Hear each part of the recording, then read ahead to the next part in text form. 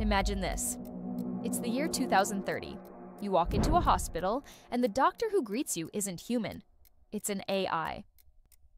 It looks at your medical history, runs your blood test results, scans your genetics, and in 30 seconds gives you a diagnosis more accurate than any human specialist. Or, picture this you're applying for a new job, and the recruiter isn't a person either. It's an algorithm deciding if your resume even deserves to be read. That future isn't science fiction anymore. It's approaching faster than most people realize. In this video, I'm going to show you how AI is going to reshape our lives by 2030. I'll give you the real numbers, the research, the projections from McKinsey, which is one of the biggest consulting firms in the world, the OECD, that's the Organization for Economic Cooperation and Development, basically a group of 38 countries that track global economic trends, and the World Economic Forum, the same organization behind the Davos meetings, where world leaders and CEOs discuss global trends. We'll look at four areas. 1. Jobs and the future of work. 2. The global economy and business. 3. Society and everyday life. And 4 the risks we need to face head on. This is not going to be a sugar-coated story. By the end of this video, you'll see both the opportunities and the dangers. And most importantly, you'll understand how to prepare yourself for a future that's already here. Part 1 Work The Future of Jobs. Let's start with work. Because whether you're a teacher, a driver, a lawyer, or a cashier, your job isn't just a paycheck. It's your security, your identity, your future. And that's exactly what AI is about to disrupt. Here's the raw truth. A huge chunk of jobs are going to change, and some will disappear completely. The OECD, which studies the economies of 38 major countries, estimates that about 27% of jobs are at high risk of automation by 2030. That's not a random guess. It's based on looking at tasks inside each profession. So, if your job involves things like data entry, routine accounting, or customer service, large language models and automation systems can already do a big part of it. McKinsey puts it like this By 2030, 30% of current jobs could be fully automated, and up to 60% of all jobs will have at least a third of their daily tasks altered by AI. Think about that. More than half of the workforce doing different work than they do today. And this isn't just theory. You've already seen companies replacing call center staff with chatbots. Law firms are testing AI to draft contracts. Even newsrooms are using AI to write sports recaps. In 2023, a study by OpenAI and researchers at the University of Pennsylvania, analyzing how AI could impact different professions, found that 80% of US workers could see at least 10% of their tasks affected by AI. And for nearly 20% of workers, half of their tasks could be automated. That's one out of every five people potentially doing a completely reshaped job. But here's the nuance losing tasks is not the same as losing jobs. Historically, technology has killed certain jobs, but created new ones every single time. When ATMs rolled out in the 1970s, many predicted bank tellers would vanish. But in reality, banks used ATMs to cut costs and expand branches, which created more teller jobs for a time.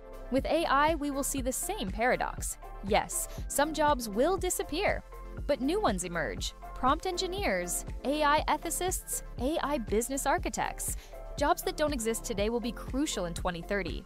The World Economic Forum predicts 97 million new roles may be created worldwide by AI, even as 85 million are displaced. It's not a one sided story, it's a reshuffling. But reshuffles hurt if you're not prepared. Let's be honest.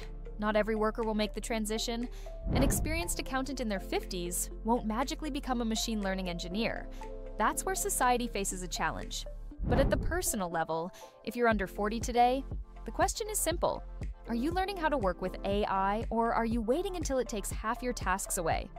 And let's talk inequality. A McKinsey study shows that automation tends to hit low skill jobs hardest cashiers, clerks, drivers while creating high skill jobs for people with advanced education. That means, unless governments act, AI could make inequality worse. So by 2030, expect this. About one quarter of jobs as we know them today will either vanish or transform beyond recognition. If you want to stay safe, don't focus on the job title.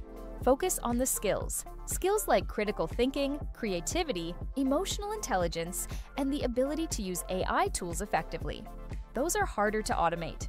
The truth is, it's not AI will take your job. It's a person who knows AI will take your job. And that's the reality we have to face. Part 2 Business and the Global Economy.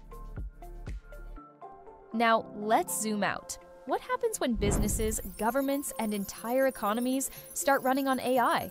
The numbers are staggering. McKinsey estimates that generative AI alone, just the systems that generate text, code, and images, could add between 2.6 and 4.4 trillion dollars every year to the global economy. To put that in perspective, that's about the size of the entire United Kingdom's economy added annually.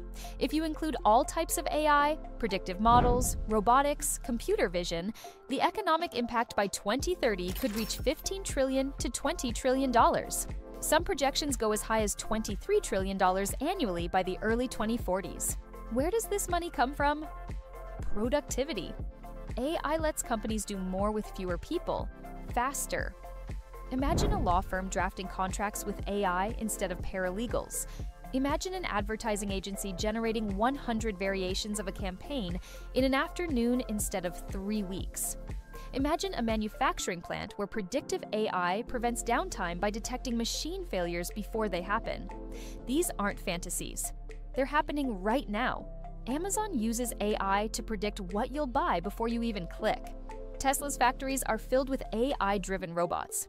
And in 2024, Klarna, the fintech company, replaced 700 human customer service agents with an AI chatbot that handled two thirds of all customer requests instantly.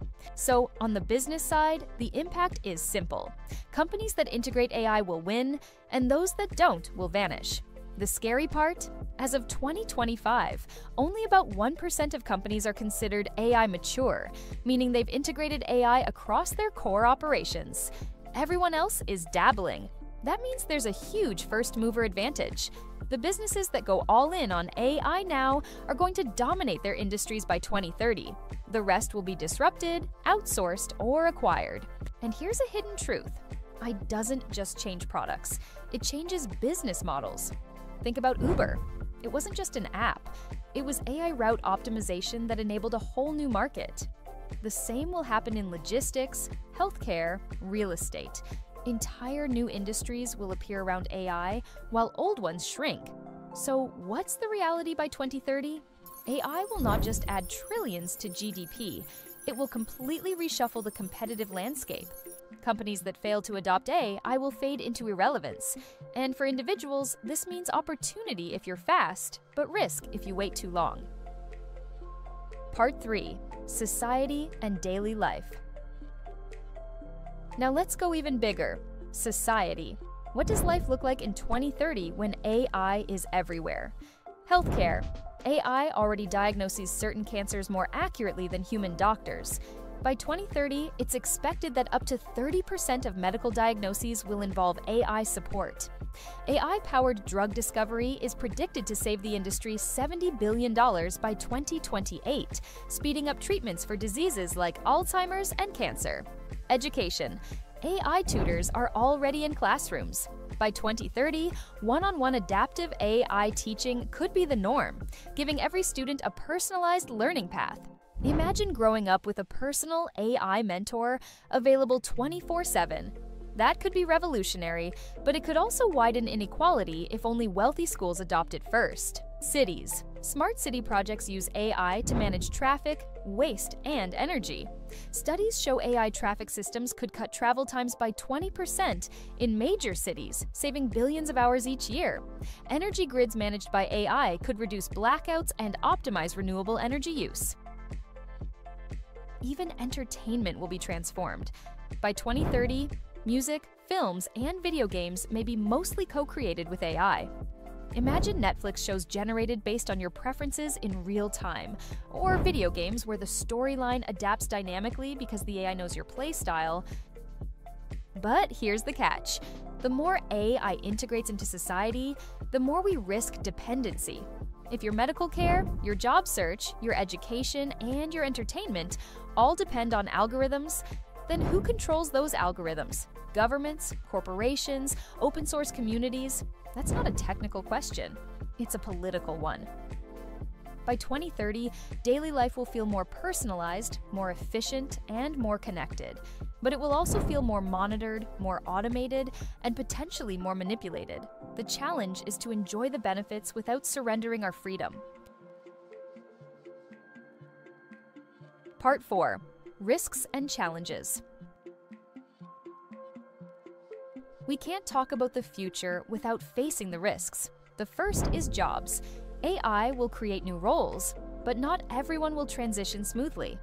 Economists like David Autor, an MIT economist, widely respected for his research on technology and jobs, warn that AI may not offset job losses fast enough, especially for mid skill workers.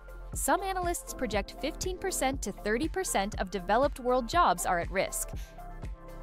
The second is inequality. Geoffrey Hinton, often called the godfather of AI, a pioneer who helped invent deep learning, warned of massive unemployment and said AI could enrich the few while making millions poorer. If AI is controlled by a handful of corporations, we could see wealth concentration on a historic scale. The third is security.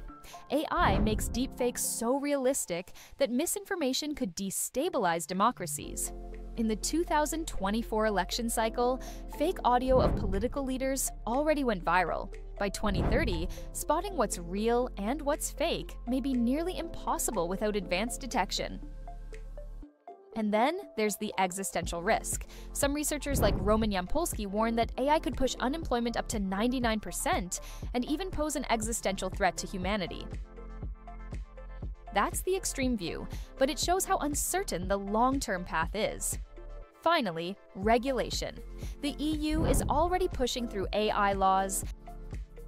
The US is debating frameworks.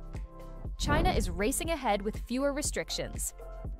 By 2030, the question of who sets the rules could define global power. So the risk is clear.